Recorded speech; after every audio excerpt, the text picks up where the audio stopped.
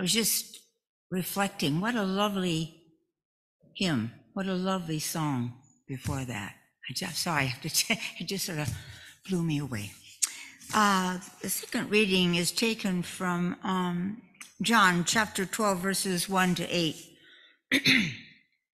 Jesus anointed at Bethany. Six days before the Passover, Jesus arrived at Bethany where Lazarus lived, whom Jesus had raised from the dead. Here a dinner was given in Jesus' honor, and Martha served while Lazarus was among those reclining at the table with him.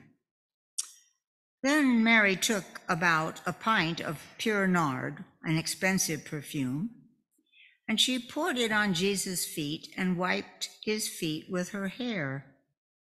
And the house was filled with the fragrance of the perfume. But one of the disciples, Judas Iscariot, who was later to betray him, objected. Why wasn't this perfume sold and the money given to the poor? It was worth a year's wages. He did not say this because he cared about the poor, but because he was a thief. And as the keeper of the money bag, he used to help himself to what was put into it. Leave her alone, Jesus replied. It was intended that she should save this perfume for the day of my burial. You will always have the poor among you, but you will not always have me.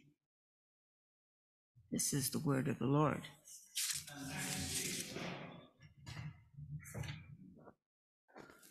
Amen.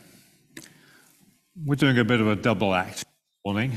So Graham is now going to come and bring us uh, the word of the Lord, and uh, we look forward to what the Lord will say through him. So uh, go up, Graham, and we'll swap the uh, the mic over.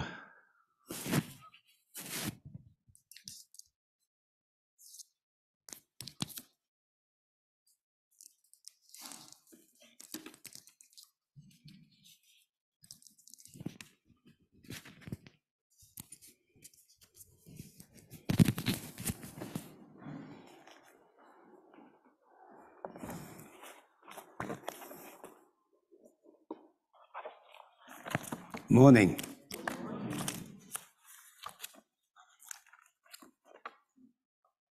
As being one who often participates in joining you on Zoom, and I know sometimes when you're on Zoom, you feel a bit sort of isolated, and especially when sometimes Zoom doesn't work or whatever. And we feel, at least I do I feel a little bit neglected. So I just want to say a, a warm welcome to to those who are on Zoom. Because, you know, we, all of us, whether we're here or, or in our own homes, we're one together. And I know at times it's easy to feel when you're elsewhere that you're not part, but we are part. We are one. We are one in the Lord. And I just pray that God will bless us as we meet together, and especially when we fellowship together around his table. Now, do you mind, do you mind if I ask you a question? It's rather personal. So uh, I hope you won't mind. I'm going to ask it anyway, but what? When was the last time you told God you loved him? When was the last time you told the Lord that you loved him?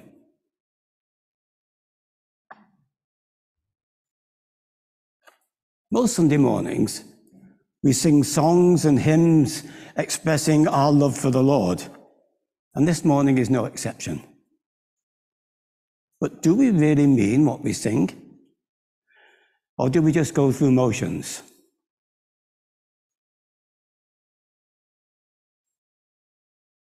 In fact, what, what brought you here today? Was it a sense of duty?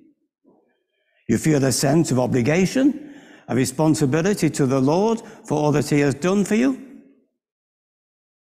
So, is it possible to serve the Lord out of habit or duty rather than out of love?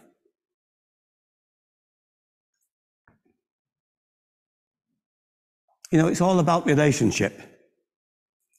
So here's another question for us to answer How is our relationship with God? How would you, how would I characterize it? Do you love Him? Truly love Him? Is He the reason for all that you do?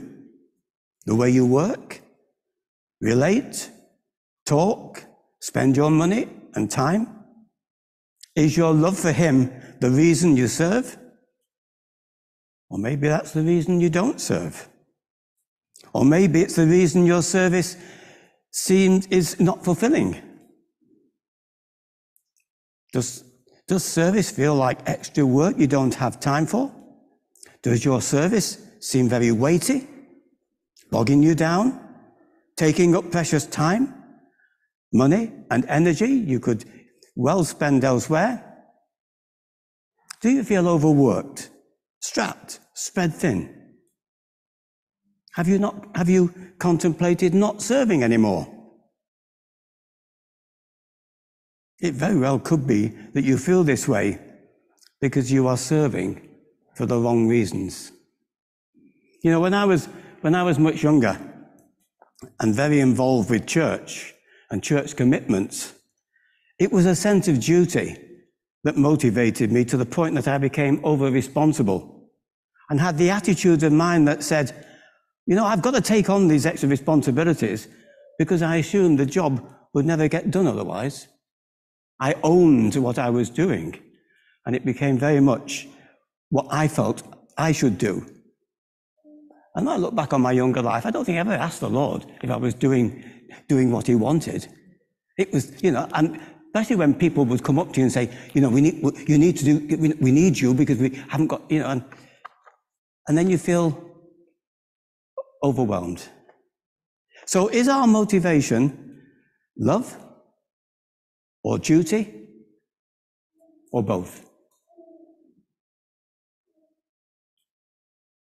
Now, we're talking about love this morning. But if I said to you we were talking about obedience, you'd be forgiven for thinking that sounds a bit boring. Well, I am talking about obedience. Obedience out of love. Love means obedience. Now, somehow the word obedience has come to have a negative connotation. But that's not true in the Bible. Conversely, in the Bible, obedience is the flip side of love. It's the expression of love. In several places, Jesus says, If you love me, you will obey what I command.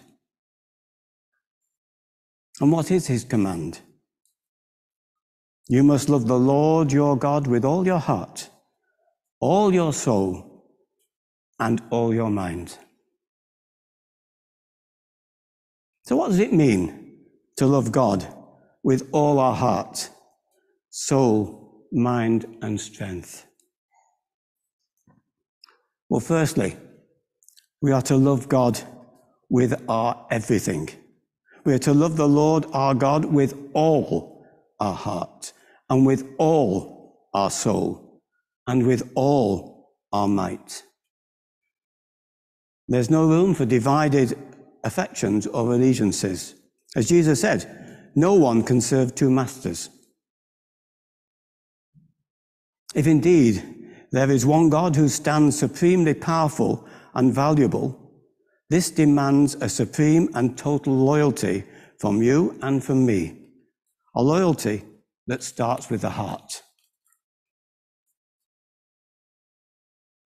Our spiritual relationship with God begins from within and from the heart, flows the springs of life, it says in Proverbs. And without one's will, desires, passions, affections, perceptions, and thoughts rightly aligned, the life of love is impossible. Moses called Israel to know in your heart that God disciplines like a father his son. And he urged God's people to lay it to your heart that there is no God besides Yahweh. and to ensure that God's words be on your heart, thus anticipating the miraculous heart work that the new covenant would realize. In Jeremiah chapter 31. This is the new covenant, said the Lord, that I will make with the people of Israel after those days. I will put my instructions deep within them, and I will write them on their hearts, and I will be their God, and they will be my people. Now, along with our hearts, we're, we are called to love God with our soul. In the Bible, soul refers to one's whole being as a living person, which includes one's heart, but it's also so much more. For example, in Genesis chapter 2, we're told that God formed man of dust from the ground and breathed into his nostrils the breath of life and the man became a living person, a living soul. So we are to love God with our passions, our hungers, perceptions, and thoughts. But we're also to love Him with how we talk and with what we do with our hands and how we utilize our talents and how we react to challenges. Our entire being is to display that we love God. And we are to love God with all of our strength. This means all of our energy, all of our gifts, our talents and abilities. And in our use of these, we can either commit our energy to glorify ourselves or to glorify God. To love God with all our energy and with all our abilities and with all our talents and with all our spiritual gifts means serving the Lord and holding nothing back. We are to love God with all our abilities, with all our being, with all our strength. And this means that the call to love God is not only with our physical muscle, but with everything we have available for honoring God. And that includes family, our home, our possessions, our hobbies and interests, and our time.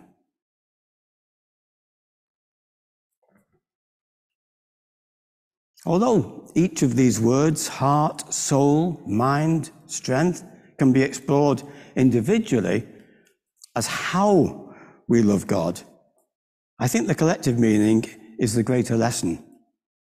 We are not to love God with only part of ourselves, but we are to measure every thought, emotion, feeling, word, and action in light of our desire to please and honor Him. We are to pursue our love for Him in every aspect of our daily life with all that we are.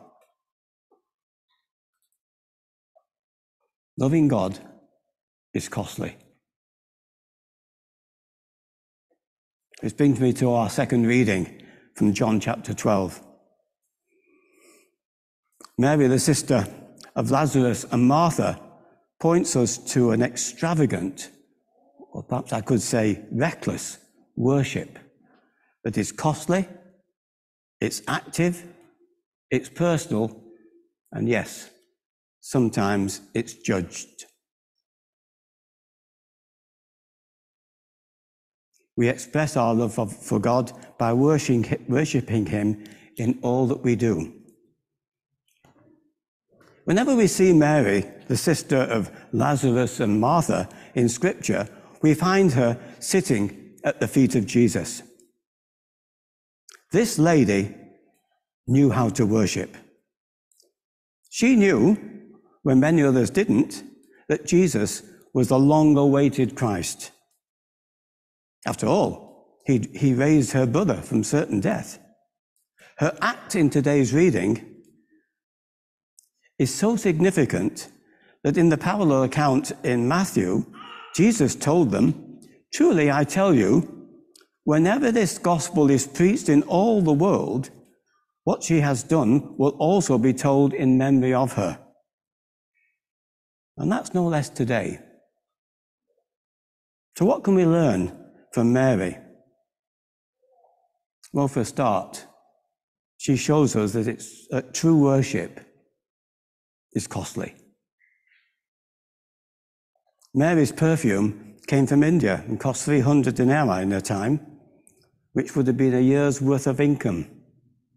And even if Mary and Martha and Lazarus were from a wealthy family, that was still a pretty pricey gift. It cost something for Mary to worship Jesus. You know, Mary is not moved by logic or careful planning. Far from it. Instinctively, Mary is compelled to offer unparalleled praise to the one she believes to be the King of all. In an unrestrained demonstration of affection, Mary gives her most costly treasure. True worship costs, yet the cost is always worth it. For Mary, for you, and for me. After all, Jesus paid a great cost for us. For Mary, the joy of knowing Christ was far greater treasure than anything she could hold in her hands. Because, because Mary viewed Christ to be her most valuable possession. She was able to hold on loosely to all other earthly treasures. Mary willingly gave up of her time to sit at the feet of Jesus, listening to what he had to say. She spent time with Jesus, and time is precious. Nothing is too good for him. True worship, yes, it's costly. And it's also active. By this I mean it's going to involve our whole being. Mary anointed the feet of Jesus. The normal custom was to anoint the head of a guest of honor. Anointing someone's head showed great honor. But taking the role of a servant and cleaning, then even anointing someone's feet, well, that showed great love, great devotion, and great worship. Paul, writing to the Romans in, in, in, chapter 12, says, Therefore, I urge you, brothers and sisters, in view of God's mercy, to offer your bodies as a living sacrifice, holy and pleasing to God. This is your true and proper worship. You know, we don't have to make sacrifices to God as they did in the Old Testament because we are the sacrifice.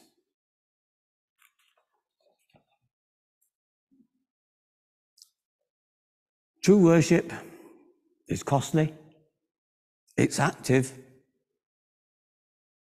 and it's personal. It's between you and God. This was Mary's way of showing love to Jesus. Martha, Mary's sister, worshipped through her service. Mary gave through her devotion.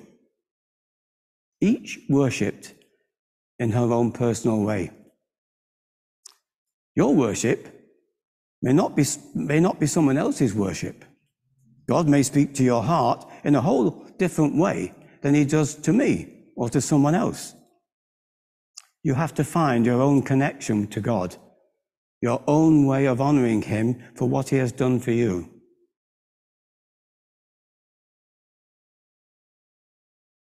Now, you know, there was one person in, that, in this story who was very close to Jesus in a, in a physical sense, that is. But it was very far from him in a relational sense. Judas looked good on the outside, but he was corrupt on the inside, opening himself to be used as a tool of the devil. And that brings us to our last quality of true worship. Because unfortunately, sometimes it will be judged. Judas judged Mary, stating that she could have spent that money on the poor. And John, in his writing, notes that Judas was a thief and didn't care one iota about the poor. The sad part is Judas could have been closer to Jesus than anyone. He saw all the miracles. He heard all the sermons. He was in church every time the doors were open. Yet he missed out on true worship. And instead, he concentrated on judging others' worship. And yet, Jesus refused to allow anyone to steal Mary's worship, commenting that perhaps without knowing it, Mary was helping prepare his body for death. Unbeknown to this dinner party, in less than a week, Jesus would go to the cross.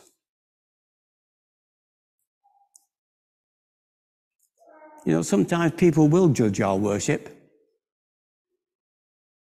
King David, for example, his wife, Michal, judged his dance before the Ark of the Covenant as, he as it was returned to Jerusalem. David danced passionately before the Lord. It was an act of reckless worship. In a different way, spending lavishly to show his love for the Lord. Michal told him that he'd made a fool out of himself. And his reply? I will become even more undignified than this, and I will be humiliated in my own eyes. David, like Mary in today's story, had decided to abandon himself in worship, regardless of the effect on his reputation. After all, as scripture says, if God is for us, who can be against us? You know, sometimes in life, we have to decide Am I going to care more about what God thinks or what people think? Peter and the other disciples were forced into this question, and Peter replied for them and said, We must obey God rather than human beings.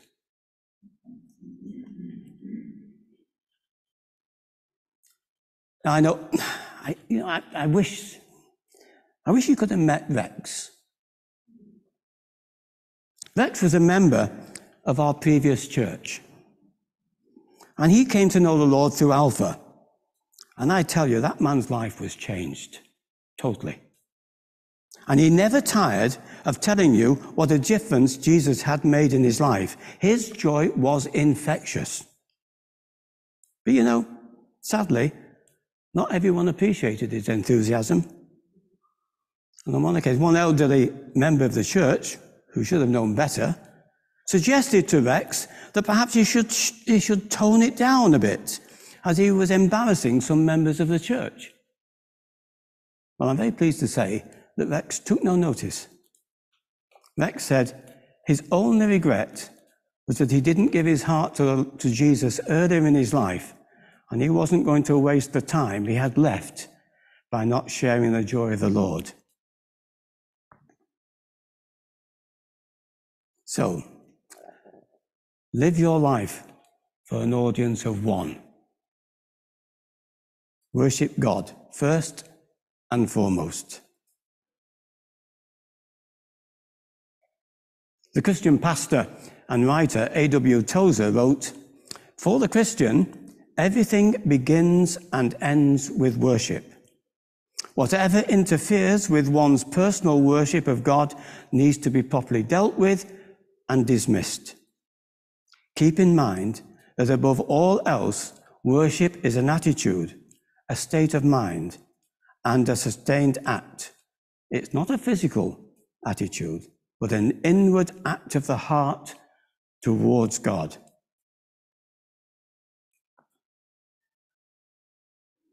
So, be extravagant. Be reckless in your worship. Let your worship be costly, active, personal, and yes, even if it's sometimes judged. And know that it's worth it to honor the one who died for you.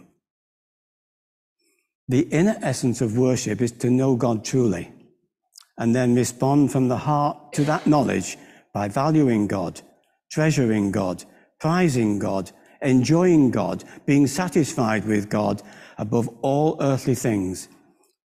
And then let that deep, restful, joyful satisfaction in God overflow in demonstrable acts of praise from the lips and demonstrable acts of love in serving others for the sake of Christ.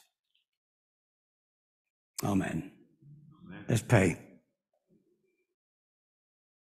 Father, your own act in giving up your Son for our salvation was very costly. Help us to honor you in return with everything we have, with every action and every thought. We are yours, and I pray we will, we will be wholly available to serve you and to serve you alone. In Jesus' name, amen.